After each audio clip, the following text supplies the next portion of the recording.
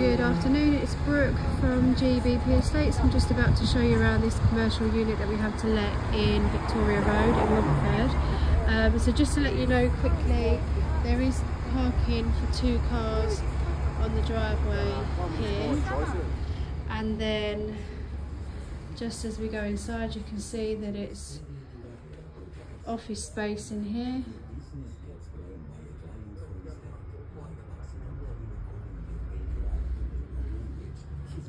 So currently they've got three desks set up in here, but obviously depending on the layout, you may be able to get a couple more.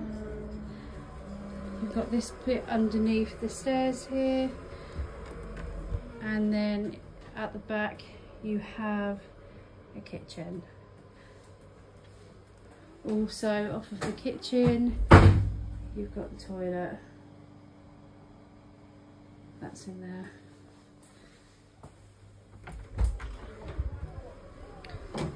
So again, just showing you the office space.